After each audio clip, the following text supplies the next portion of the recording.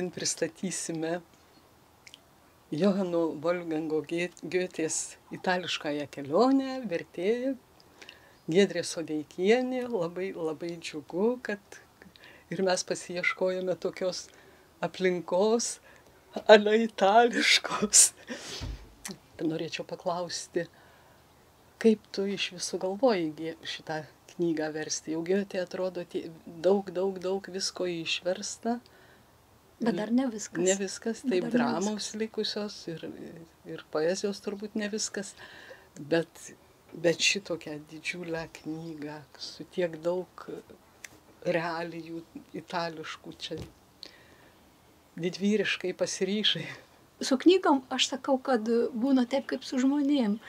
Gyveni, gyveni, gražiai sakant, eini gyvenimo keliu, tai sutinki tą, tu sutinki tą žmogų, susipažįsti, susipažįsti eini toliau, vėl nors, vėl su kuo nors susitinki. Tai lygiai taip pat ir su knygom yra eini, eini, gyveni, gyveni, sutinki knygą. Taip ir man išėjo su, su Giotė. Kažkada 2013 išverčiau jo autobiografijos pirmą dalį. Taip kaip jis buvo sumanęs poezija ir tiesa ten yra nuo gyvenimo pradžios iki to laiko kai jisai jau subrendęs dvidešimt šešerių man atrodo. Taip išvažiuoja į pa, pakviestas Veimaro hercogo jaunojo išvažiuoja į Veimarą. O čia yra tesinys jo autobiografijos jo gyvenimo kelio tiesa e, lieka nepaliestas dešimties metų nugyventas laikotarpis, kurį jis ten plušėjo Veimare ir paskui viską palikęs pabėgo jisai į Italiją. Čia yra ta jo knyga.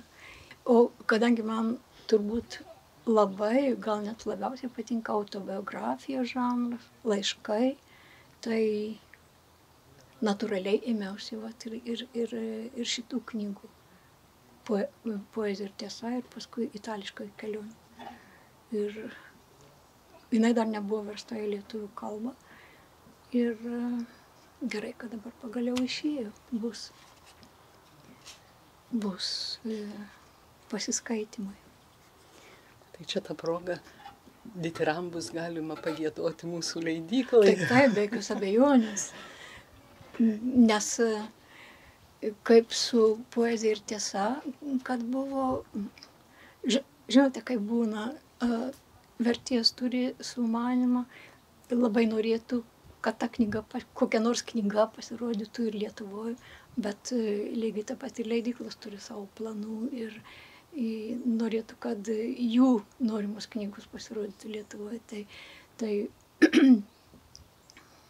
e, laimė, kad didelis džiaugsmas, kad prieš, tai jau palaukit dabar 10-11 metų, prieš 10-11 pavyko išleisti va šitą pirmąją dalį ir dabar e, Vertėjų sąjungos leidykla Jeronimas, Jeronimas taip išleido va šitą knygą.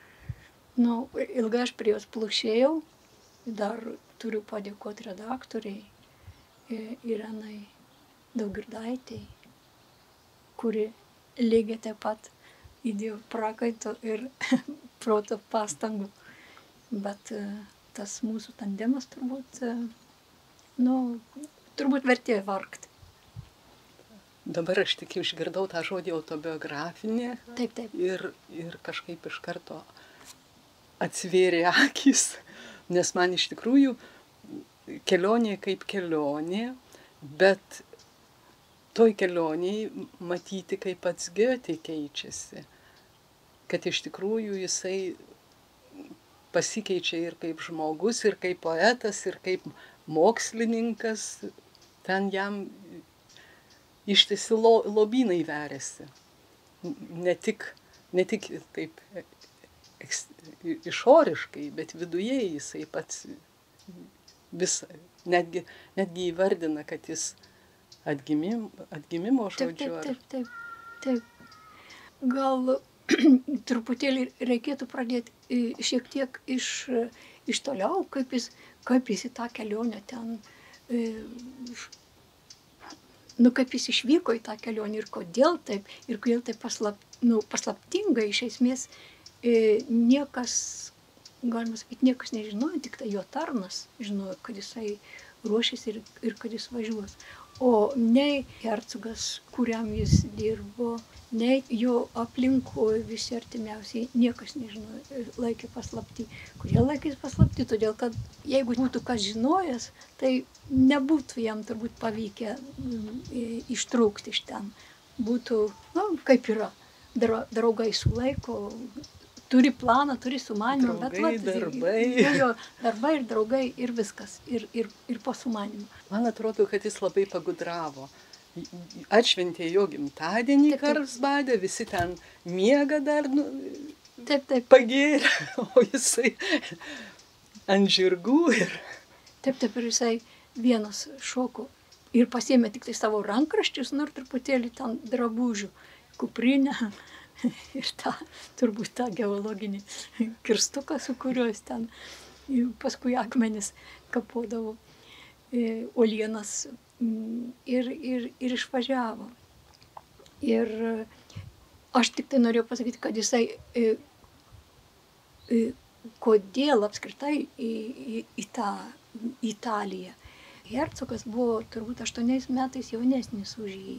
Parsikvietė į Veimarą Ir jisai buvo, hercogas buvo ką tik perimęs valdžią iš, iš savo mamos, Anos Amalijos, kuri likusi našlė jaunam amžiai. Valdžios vadžias laikė savo rankose, taip, taip, kol sūnus taps nu, pilnametis. O Goethe tuo metu jau, jau buvo išgarsėjęs ne tik Vokietijoje, bet ir Europoje su savo verterio kančiomis. Veimras irgi buvo skaitęs šitą knygą ir buvo sužavėtas.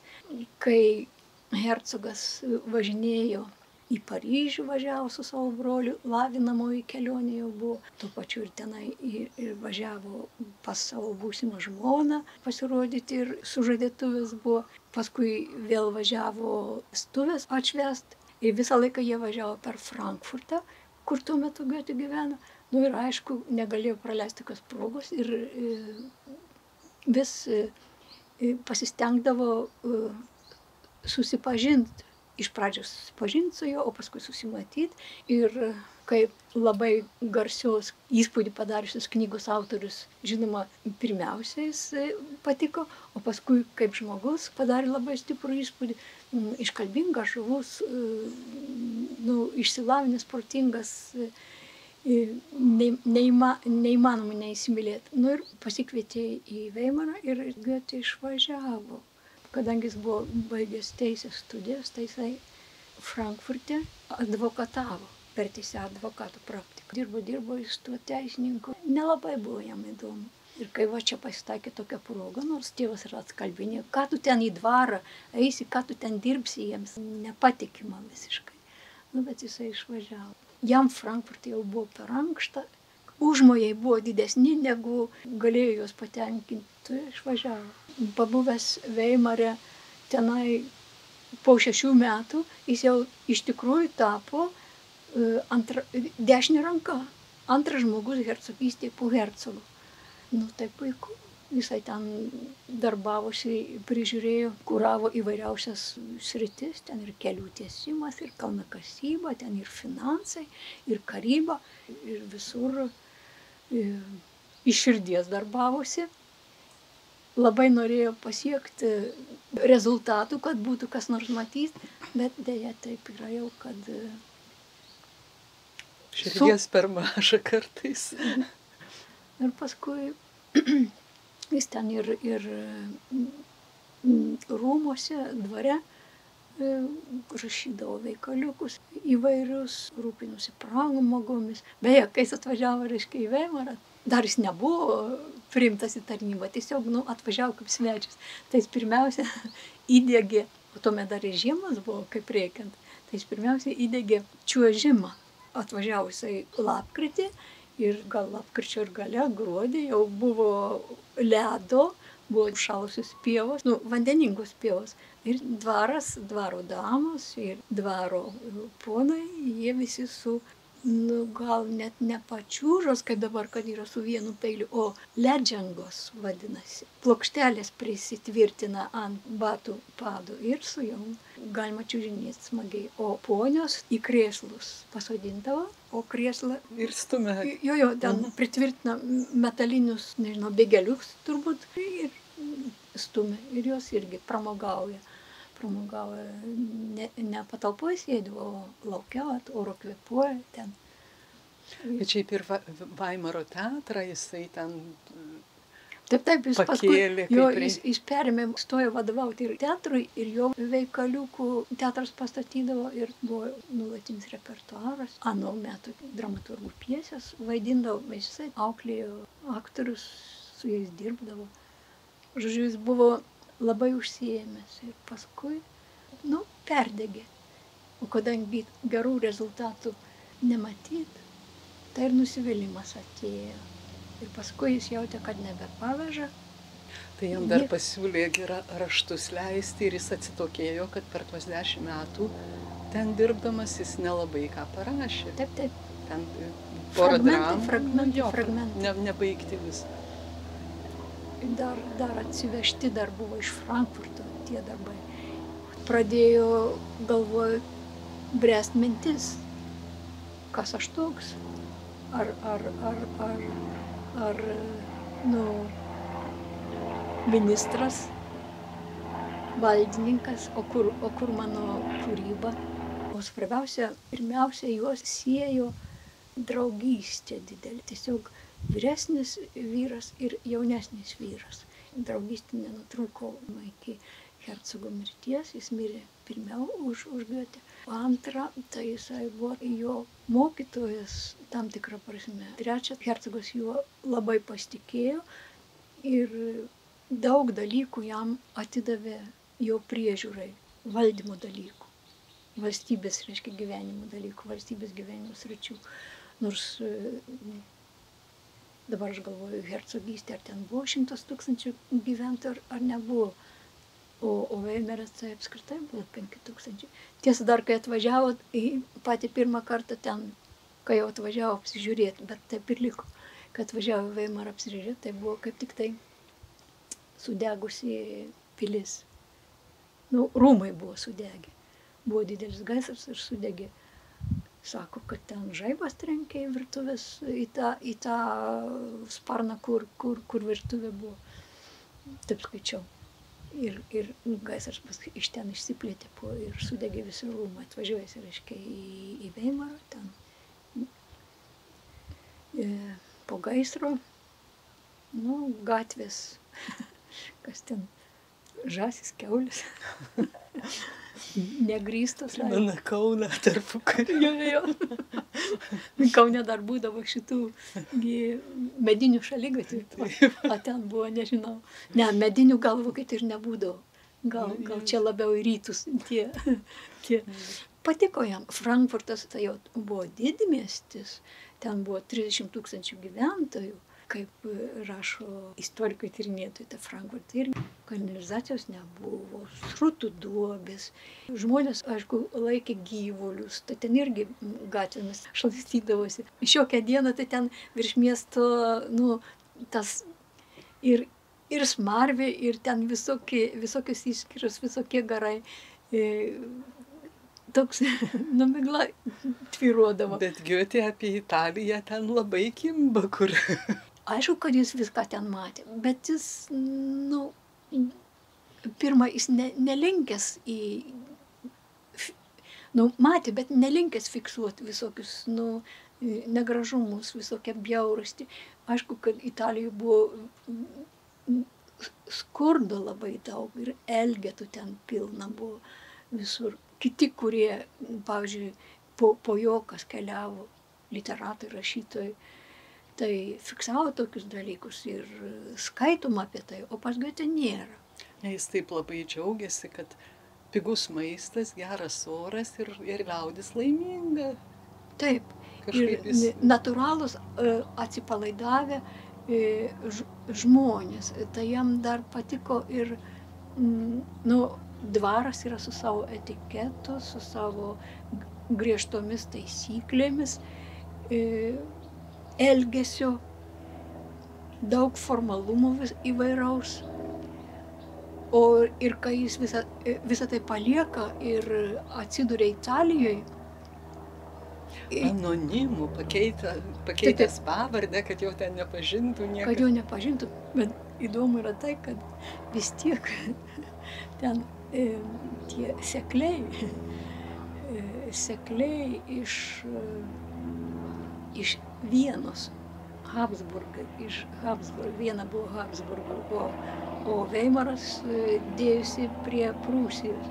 Tai jie vis tiek žinojo, kad Goethe išvažiavo į Italiją ir buvo priskirtas ten Romui Habsburgams dirbęs kardinolas, man atrodo, jis buvo. Tai jie ten šnipinėjo Goethe vis tiek. Nors jis apie tai nieko nežinojo, jis manė, kad jis prisidengęs šito Filipo Möller. Möller, Tedesco Pitorė. Ir, ir to užtenka. Tikrai, nu, da, tie vokiečių kolonijoje, reiškia, ten buvo turbūt kokie 50, jeigu neklystu, 50 vokiečių menininkų įvairių, su stipendijomis, nu, iš dvarų siūsti. O šiaip pasitobulinti atvažiavę, žinoma, tai jie jo nepažino. Jis buvo laimingas, kad jo nepažįsta, jam čia nereikia kiekvienam apie save pasakot, prisistatinėti, bet buvo kas jį pažinojo. Bet kadangi jis apie tai nežinojo, tai laimės jausmą tai jam ir nesugadino.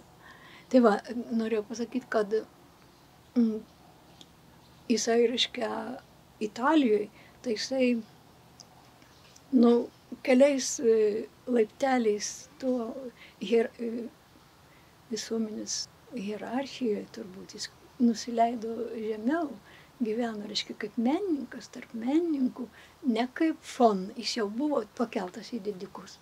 Ir gyveno paprastai ir laiką leisdavo tarp paprastų žmonių, jam labai patiko, italai labai natūralūs, prieina ir kalbasi, arba jis prieina ir kalbas lyg seniausiai pažįstami. Kalbos barjerų nebuvo, nes jis puikiausiai mokėjo, kalbėjo itališkai.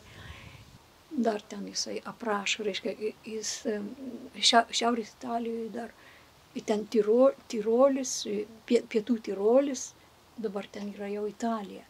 Pietų Tirolis, paskui Italija, yra dar ruožas kažkiek kilometrų kur kalbos maišosi, pramaišiui dar galima. Tai turbūt vokiečiai kalba ir itališką, italai moka ir, ir vokiečių kalbą. O paskui jau, kai šitą ruožą pravažiuoja, jau atsiduria vien itališką aplinkoje. Nu, va, ir jisai, tai jau kalbame tik tai itališkai, jau čia su vokiečiu nebeišsiversi. Bet sakau, jam nebuvo jokios problemos. Į, į, tą italų kalbą jis iš, iš namų. Tėvas išmokino. Tėvas labai daug investavo į vaikų e, išmokslinimą. Ir jis ir jos esu. Paminėjai ten tą vokiečių koloniją. Man labai daug asociacijų, tarp kitko skaitant, nes Goethe mokykloje buvau skaičiusi nes ten ir eilėraščius mokėmės ir apie jį. Ir atsimenu, kad buvo ta nuotrauka vadovėlyje Giotės itališkoji kelionė. Tik tai aišku, juodai balta, tas paveikslas, kurį ten nutapo jo gydas Tišbainas dailininkas. Kita paskui Angelika Angelika. Angelika. Ka, Angelika Kaufman. Kaufman vėlgi portretą nutapo ir visa, visa tai vat, aprašinėja, vyksta veiksmas, viską pasakoja Giotė ir pakomentuoja kad Kaufman gražus vyrukas, bet visai į mane nepanašus. Nu, ir dabar gerai, va, čia pat susirandi, nu tikrai nepanašus. Ta prasme, kad veiksmas iš karto ir toj kolonijoje, ir paskui eina kiekvieną į muziejus, į teatrus, į bažnyčias, va, ypač Romoje. Ir visa tai, ta Italija skleidžiasi šitaip.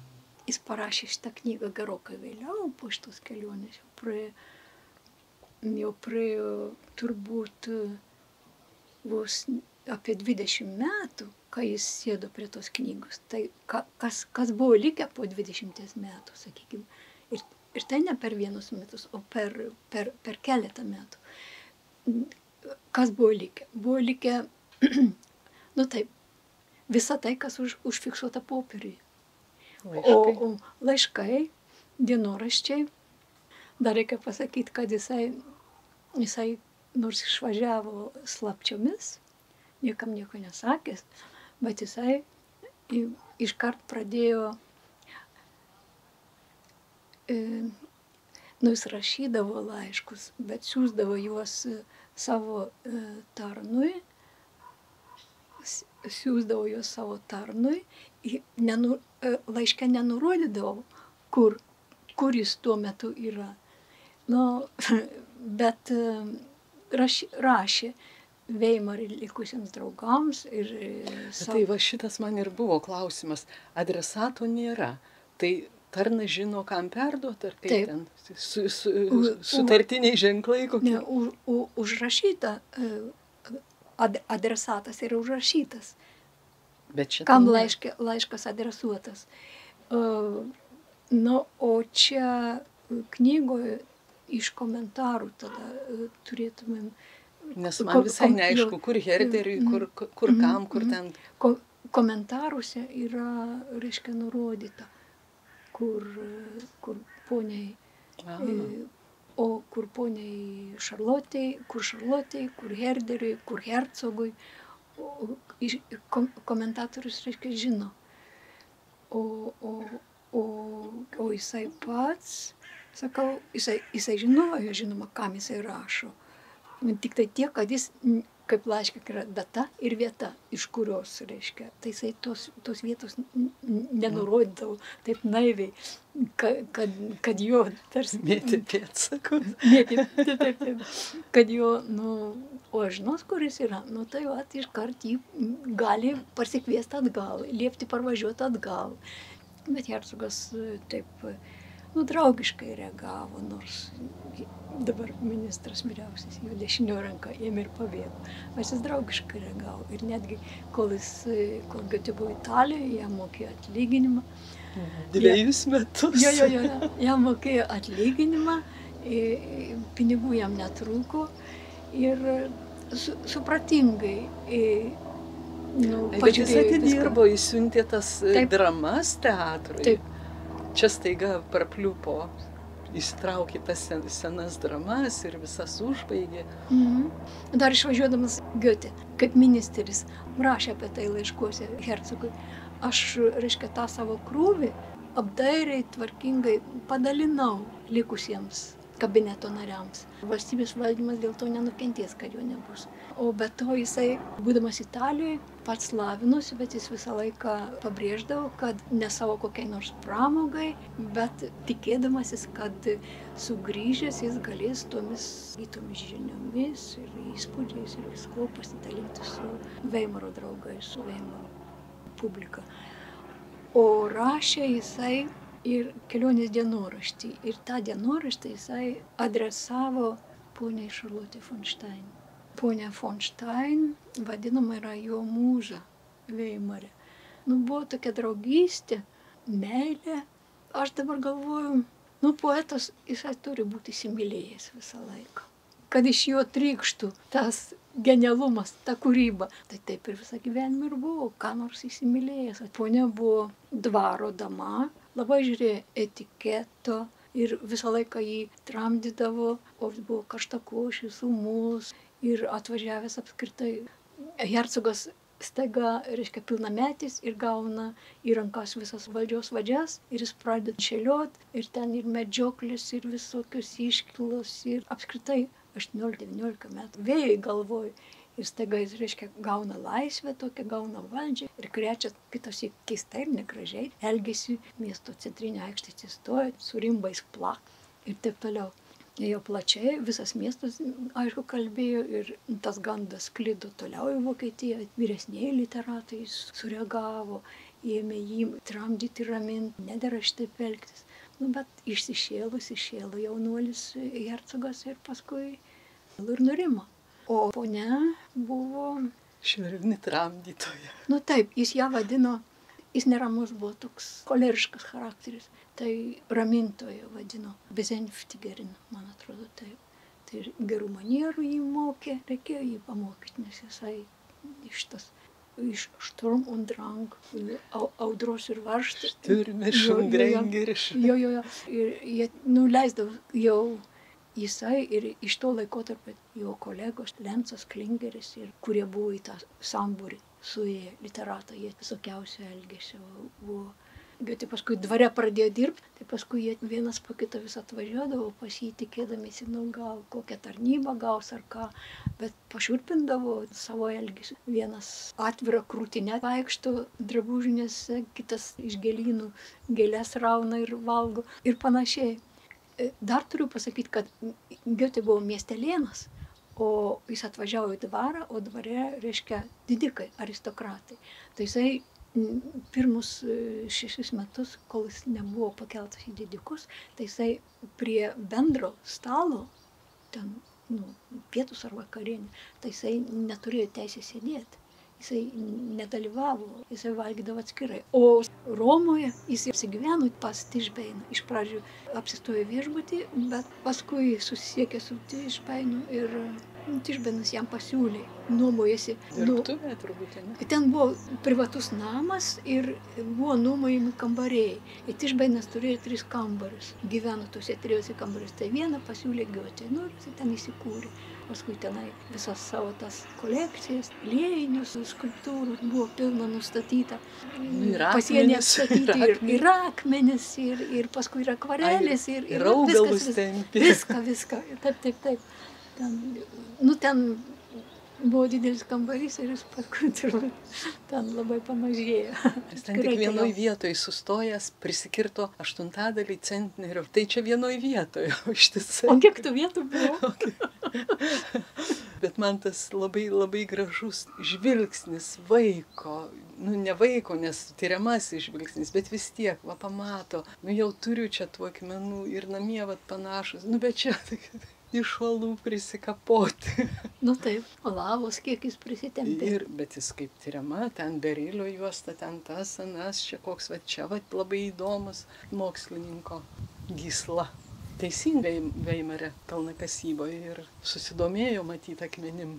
Nu taip, reikėdavo leisti į tą šachtus. Jis buvo nusileidęs, nežinojo, kaip ten atrodo. Bet jis ir labai rimtai ten ėmėsi to meno ir Taip, taip. tapybos ir Taip, tapybos, piešimo tapybos jis ir iš anksčiau, dar jaunystės, paauglystės laikais piešė. Ir kai buvo studentas Leipzige, irgi lankė piešimo akademiją, mokėsi piešti. Ir kirbėjo jam toksai klausimas, o gal aš vis dėlto ne literatas, o gal aš vis dėlto esu dailininkas. Ir jisai Italijoje, va šitoj dailininko aplinkoje, jisai pradėjo lavintis, mokėsi piešti ir tapyti ir kas iš jo išeis. Ir visai neblogai jam sekėsi, bet vis dėlto paskui jam paaiškėjo, kad jis yra gimęs literatūrai. Nors tas piešimas ilgai dar jį lėdėjo. Bet Jisai nusprendė, kad per se- per paaiškėjo- senas. Per senas, bet paskui vis dėlto, kad jis yra gimęs literatūrai. Nors jam literatūra, nu kaip iš rankovės jis viską traukia, galima sakyti. Jaunystėje gerai tinka, bet paskui, kai jau esi vyresnis, tai turbūt nu, nebeužtenka taip pailiuoti. Svoris turėjo būti kūrybos kitas. Eiliavo jisai, eiliuoti eiliavo, bet reikalingi dar ir kiti dalykai turbūt. Jisai liekė kaip akis išdegęs į Romą. Kai jau Romoje, nu tai viskas jau, jau aš pasiekiau. Kur daržiausi, tą pasiekiau. Paskui patraukė toliau, dar į Neapolio, iš Neapolio ir į Siciliją. Vat man įdomu, kad kai buvo Romoje, pasklydo žinia vienu tarpu, kad Vezuvijus išsiveržė. Ir ten iš Romos būdavo matyti Vezuvijaus liepsną. Tai man įdomu, tas nėra taip toli. Bet Vezuvijus taigi ten išmeta labai, ugnikalnis išmeta didelį, didelį fontaną ugnies. Tai ten įrašo, kad visi, visi išvarė svetim šaliai į, į Vezuvijų pasižiūrėti, o jisai liko. Jo. Bet jisai nieko neprarado. O ką jis laimėjo, tai apskritai ta scena. Man labai patiko, labai įspūdingas yra mano akimis, kai jis jau atsisveikina su Neapoliu ir iš grafienės svetainės langų, jinai jį pavaišina šituo reginiu. Jau saulė nusileidus ir liktyčia mėnulis yra patikėjęs, pilnatis ir atidaro langines ir priešais ugnikalnis gyvena savo gyvenimą labai gražiai aprašyta. O dar paskui, kai buvau Sicilijoje, tai jie tengi buvo, jiegi buvo pasišovę kopti į etną, bet juos ten vietinis ponas sustabdė. Buvo pavasaris dar. Šiukštu nedarykit, šito atrodo lengvas dalykas, užlipti, bet nereikia. Mes ir patys, va čia gyvenam pašonį, bet ačiū Dievui, jei porą kartų savo gyvenime esam užkopę, nes tai yra nelengva ir matyti rizikinga ir pavojinga. Bet čia jau buvau Sici Sicilijoje. O galiu dar... Bet jis neplanavo į, Siciliją iš pradžių. Iš, pra, iš pradžių ne, iš pradžių neplanavo, bet e, paskui jau kai Neapolį buvo, pradėjo svarstyti, nes Neapolį užsibaigdavo tos vadinamos lavinamoji kelionė, gal taip, ugdomoji, kavalyrsraizė. 17 amžiuje jau važiavo, ten Britai pradėjo, Anglai pradėjo tas keliones. Paskui išplito ir visoje Europoje. Didikai ir pasturintys miestelėnai siūsdavo savo sūnus į Italiją. Ir važiuodavo jie ten nuo Šiaurės Italijos iki Romos ir toliau į Neapolį, iki Neapolį ir Neapolis buvo paskutinis punktas. Taigi čia aš nusiek irgi važiavau tėvo pėdomis, bet e,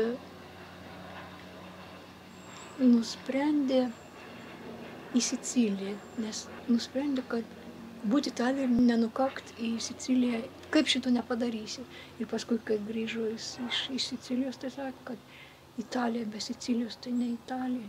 Reikia pamatyti ir Siciliją ir tada suprasi, kas yra Italija. O Sicilija, nežinau, nebuvau nei tada, nei dabar, aišku. Tik tai tiek, kad tada klimatas buvo dar kitoks, dar nebuvo tokių kaitrų. Nors rašo e, vieną vasarą iš kažkurių Goethe rašo kaitra didelė, labai didelė kaitra laukia. Ir ten, kas atvykęs iš, iš, iš Ispanijos ar Portugalijos, sako, net tuose kraštuose ten nėra taip karšta, va, kaip čia tada Romoje. Kiek tas buvo tas karšta, tai nežinau. O Neapolį irgi buvo, buvo, būdavo karšta, bet ten jau kitas klimatas negu Romoje. Tai tas karštis būdavo lengvesnis, gaivus oras. O Sicilija, nu, dar ir Goetės laikais buvo Italijos aruodas.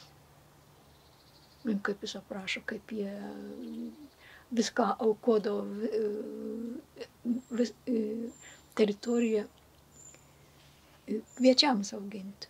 Nu ir šiaip toms grūdiniams kultūroms. Bet kaip kviečius ravė. jau kaip kviečius ravi. Ir aš iš pradžių, aš iš pradžių ir nelabai supratau, kaip juos ravi. Skaitau ir nelabai tikiu, reiškia, rėželis yra vaga ir, ir išravi. Yra tarpai, tarpai tarp e, tų vagų. Ir, nu, nes kokį mes turim įsivaizdavimą ir supratimą. Yra laukas, pasėja va šitaip, sakykime, rankom dar. Neįsivaizdavimą, o na, na, Nu, natūra. Nu, taip, pasėjo, nu dabar mašinomis, kad dar, o sakykime, prie, prieš karą tai eidavo sėjėjas ir sėja. Iš, iš, Mm. iš to semia ir, ir, ir pila. Ir, ir sėja. ir užauga kviečių laukas. Nu, bet aš išverčiau, kaip parašyta, kad rėželė yra ten vandeniu, reiškia, nutekėti, susikaupti. Ir pikžalės ravi, ten gyvenvietė ant uolų, o vyrai, vyrai reiškia, prižiūri. Ten pirmadienį nusileidžia ir gyvena ten trubelėse, prižiūri tas kviečius. Penk, penktadienį, šeštadienį grįžta atgal į šeimas. Ir stebėjau, stebėjau, kol vieną kartą perskaičiau tokiam laikraštį su nuotraukomis, kad Latviai augino va taip, kaip 18 amžiuje ten į, į, į tą, vien, vienam ūkiui ten buvo. Taip kaip, kaip va, šitoje knygoje, kada prašyta, yra rėželiai, nu, nenaudoja, reiškia, tų chemikalų pikdžiulėms. Jeigu, nu, bet, bet yra rėželiai, va, ir toks senovinis metodas. Čia, nu, pažang, pažangi žemdirbystė. Kažkas, dabar pažangi. Dabar pažangi, taip. Tai va. Reiškia, aš išverčiau teisingai. Tik tiek, kad ne, gyvai nebuvau, nebuvau mačius. Tai tenka pasitenkinti nuotraukom. Šiaip tai ta kelionė nu, labai didelį įtaką padarė Goethe visom prasmėm. Nu taip, taip, taip. Pirmiausia, jisai atgimė, kaip jisai pats sako. Atgimė, at, at, atsigavo, atsimainė. Nu, nusimetė, išsilūkšteno iš viso to, nu, sustingusio veimaro, nors ten nu, realizavo save kaip, save kaip asmenybę, turėjo labai daug veiklos įvairiausios, visokiausios. Galėjo įvairiausiais būdais reikštis, bet nu, paskui vis tiek gausi kažkokia nedermė ir pradėjo jį slėgti visą tai, strikt viskas. Ir reikėjo Kokia išeitis? Pabėgo. Pabėgo. Bet pabėgo ne, vis, ne su visam, paskui sugrįžo ir toliau dirbo, taip, bet jau taip, taip. jis taip labai daug ką atsiribojo. Nu, Hercogo pasiprašė, kad jam leistų mažiau valstybės valdymo darbų, o labiau jam būti poetu. Nu, jisai tada ir buvo poetas, jam liko rašymas ir teatras pagrindinė jo veikla. Ir labai gerai išėjo ir Veimarui, ir Hercogas buvo patenkintas, ir Veimaras buvo patenkintas, ir Vokietija buvo patenkinta, ir visi esam patenkinti. Jis, kai grįžo į Veimarą, po šitos kelionės, tai, nu, sulysęs, įrūdęs saulėje ir kažkoks kitoks širkštokas. Tu jis pri, per, per tą laiką priprato kitaip bendrauti su italais. Ten nereikėjo varžytis. Galėjai būti toks, koks, koks esi. Nereikalau jokių ten ceremonijų, kada jis dažniausiai su Nu taip, taip, ten jisai bendravo ir su, su diduomenė. Ir, ir, bet šiaip širdis linko į, į tą natūralų laisvą gyvenimą.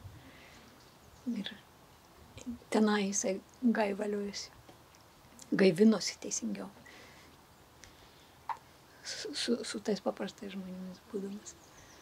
Man dar padarė labai įspūdį jo vaikštynės po bažnyčias ir, ir komentarai, nu jis va protestantas jau toks ir vis pasitvirtina, kad jis tikras protestantas, bet, bet labai, labai įdomus žvilgsnis. Va, jėzuitai. Jis pagarbiai visada atsiliepdavo. Labai pagarbiai. Ir iš tikrųjų ir nesugriuvo jų statytos bažnyčios. Buvo nu, žemės drebėjimas, o bažnyčia tai išliko. Va, ir jie buvo kaip pavyzdys protestanto žvilgsniu. Jis mato minusus, čia teatras ir Ir teatras, dar ten buvo Vokietija. Bažnyčia kaip teatras, ir ta prasme, kad daug apieigų protestantų, daug mažiau šito. Bet jėzuitai tai sugeba kažkaip tą daryti. Ir ne kaip nors paniekinamai ar ironiškai, bet tiesiog, nu, pri, pripažindamas, kad tai, ką jie sukuria, yra puiku. Ką, taip, taip. Jėzuitai. Ir, taip, taip, taip. ir ten Romoje Velykų apėgos, kaip jie Sikšto koplyčioje, kaip žiūrėjo, labai didelį įspūdį padarė ir tikrumo įspūdį, ne kokia nors puošyba, tušti dalykai, tik tai blizgučiais išpuošti, bet tikras veiksmas, tikri dalykai vyksta, tikri dalykai parodomi, kad popiežius vien plaukis ir, ir, ir kas ten buvo, turbūt didys penktadienis, motetus gėda, koras. Ir labai dar, dar tos paralelės pasakoja apie italus ir ko neveikia vokiečius, nulygina arba atvirkščiai tokio, tokios daug kur eina paralelės. Čia irgi tar, tautų palyginimas, mm. kad italų kokios tos trobelės mažytės, kad jie visą laiką laukia, nu. jie visą laiką gatvėje, jų tokios, o kiti išsimūrė didžiausius palocius, kad jau nu, ir sėdit ištisai tenai. Mm. Nu, Italijoje ten saulė. Nu, tai ka, kam jiems tie namai, jeigu jie gali gyventi laukia ir saulėje. O, nu, tai tik tai na, nakvynė tuose namuose, o šiaip viskas laukia ir gatvėje. O, bet, bet kita vertus ir tie nameliai labai, ten visas interjeras labai meniškas. Taip, viskas ištapyta, kaip, taip. kaip ir tą pompėją atrado, taip. Nu, viskas ištapyta. Taip, taip, taip. Nors mažučiai, mažučiai kambariukai. Taip. Ai, tai jis ir, ir kalba, kad čia, ką mes matom, tuos jau Vokietijoje žinomi, o čia atvažiuoji, pamatai visas kitas žvaigždės. Nu, ten yra pirmo ryškumo, antro, trečio, o čia, kad čia gyvenimas toks, viskas. Į kažkokią paprastą trobelę užėjo pakeliu irgi ten viskas ištapyta. Taip, taip, taip. Tiesiog jūs jutimais tauta pasižyminti labai Aha, akcentas. Ten, taip, ypač e, Neapolį, tiesiog griūte užgriuvo spalvos. Tai, taip tarsi probėgšmais paminė jisai laidotuvių procesiją. Mažą vaiką laidojo. Tada atviram karste neždavo. Nu, iš namų neša į kapinės. Karsto kraštuose ant e, turbūt spiruoklių tokie pritvirtinti angelai ir ten nuo žingsnių tie angelai visą laiką links. Gėlės visur, kaspinai, visur spalvos nežmoniškai daug spalvų Vokietijai, sakykime, arba šiauriau Alpių įsivaizduojama, kad tokia spalvų marmalinė, čia barbarizmas, barbariškas toks elementas. Ten labai daug spalvų, bet viską, tas spalvas prislopina saulė. Jis yra stipri, šviesi ir mes savo šviesą, kai užlėja visas tas spalvas, tai jos ir nereiksmingos ir jos tarsi harmonizuojasi kokia dabar šitos knygos, įtaka šitos knygos. Girdėjau, kad, sakėjai, lyg tai minėjai, kad keliauja pagal tais maršrutais. Keliauja, tikrai keliauja. Ir, nu, aš nežinau, ar čia, ar čia pyksta, ar, ne, ar, ar, ar šiaip tokį perspėjimą Goetės tyrinėtojai E, nurodo, kad čia yra autobiografinė knyga, ne kelionių vadovas. Giotė rašė, reiškia, e, kaip savo gyvenimo prašymą, o jisai, o ne tokią knygą, kurią paskui pasiremdami, kurią pasiremant galima ten tuo, va, jo nurodytų maršrutų keliauti ir jūs ten važiuokite ten, rasite tą, važiuokite ten, rasite tą arba pamatysite tą. Jisai rašė ją kaip autobiografiją, pasakodamas, kaip jisai pats, ką jis patyrė ir kaip jis e, nu, keitėsi, kaip jam ten buvo. Bet matyt, matyt, ta knyga, jinai beje yra populiariausia jo knyga. Taip, bent jau taip sakoma ta knyga yra, jinai iš tikrųjų yra, man toks, tokį įspūdį paliko, kad, nu, džiaugsminga, ne džiaugsmo, džiaugsmo pilna. Jinai tokia graži, kad vis tiek žmonės pripažįst, nu taip, taip, autobiografinė knyga, bet mes vat, perskaitėm knygą po paraštę ir važiuojam Gėtės pėdomis. O jis matė to, tą paveikslą. Va, va štai tas paveikslas. O jis matė tą vaizdą. Va, o čia va tas uh, Veronovas amfiteatras. Taip, taip, tikrai, va, va, ką jis matė. Va. Nu, žiūri, tarsi žiūri jo akimis ir jiems gražu. Ir mm, daug ko, arba kai ko jau nebegali pamatyti, net nebėra, yra sunaikinta, arba išvežta į kitus kraštus. E, ten, ten Napoleonas kiek išsivežė. Ir, ir tapybos darbų, ir, ir skulptūrų. Nu, Prancūzijoje yra, Londone yra, Britų muziejai ir taip toliau. Bet uh,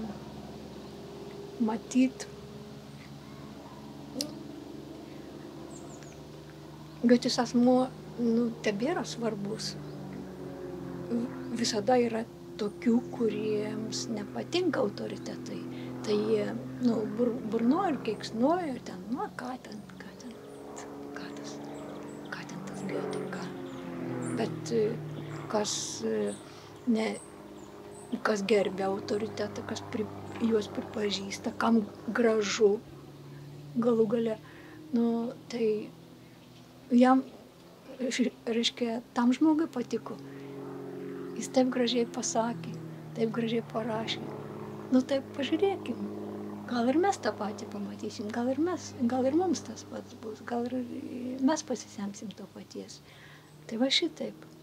Ir, ir yra, aš net įsigijau yra, reiškia, ne vienas jo pėdomis keliavęs ir ten fotografai keliauja jo pėdomis. Prifotografavo yra tų peizažai, pavyzdžiui, nepakitė, kokius jis matė.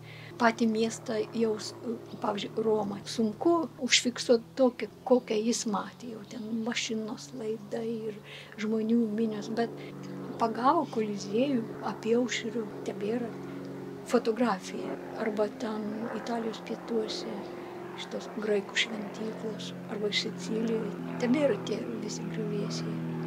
Juk visada yra, jeigu koks, koks nors mylimas žmogus arba geras žmogus nu, ką nors pasako, į kur nors nukreipi, nu tai taip ir randi, ką jis, a, teisybė sakė, taip, taip ir yra, patiki juo ir, ir atrandi tą patį, ką jis, ką jis matė ir, ir ką sakė, ir tuos pačius dalykus, ir patiki.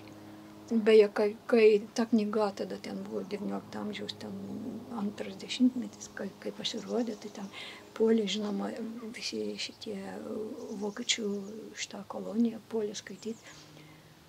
Ir labai nusivylė, nu ką iš čia parašė, ką iš čia parašė.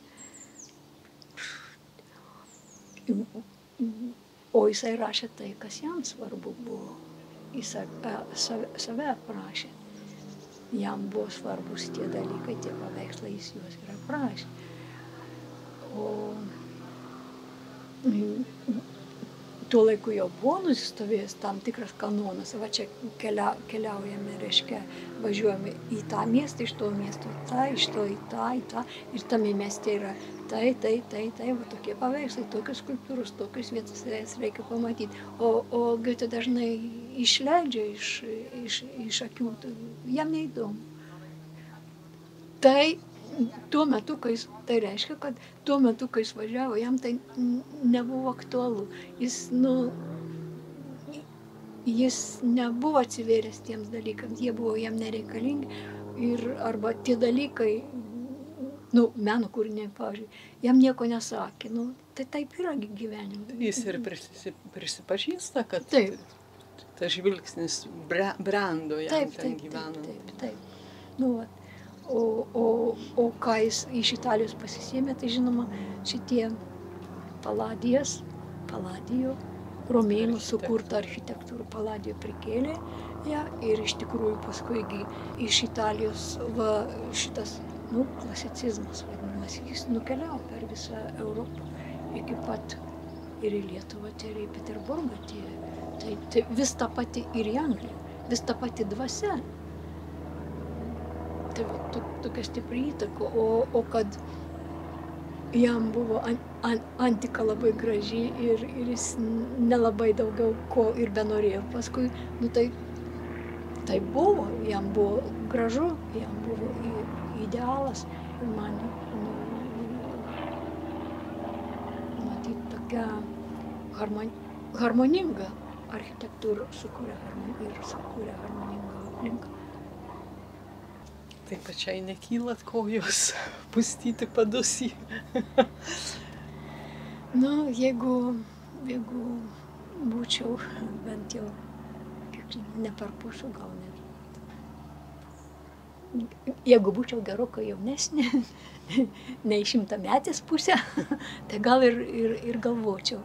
Bet, nu, dabar užteks jau tokio bendravimo per, per knygą, per, per jo palikimą raštinį, raštišką. Jokubus Jacovskis kūrė viršelį ir jisai, ir jisai jis sakė, nu, kel, irgi kelionės įspūdį, kaip, kaip Gauti ten dar dėjo tam netobulam itališkam vežime, kaip jis sakė, neštuvai patobulinti prieki, ten mulas pastatytas ir, ir viskas. Ratai, ir, ir, du, ir du ratai pri, pritvirtinti, ir dardais ten tais keliais. Nu, tai ir jis irgi sakė tokį kelionės įspūdį, va. matai, tas, tas pavadinimas, va, kaip ne taisyklingai, o truputiško viskas yra iš, kaip tarsi išmėtyta, tarsi nelygų, nu, va, kelionė kratimasis toks. Galiu čia pasidžiaugti, kad nu, va, pavyko. E, pavyko pa, pateikti e, gražų pavydalą, gražiam turinį gražų pavydalą. Nu ir gražiam vertimui. Ačiū. Tegu, tegu eina širdį.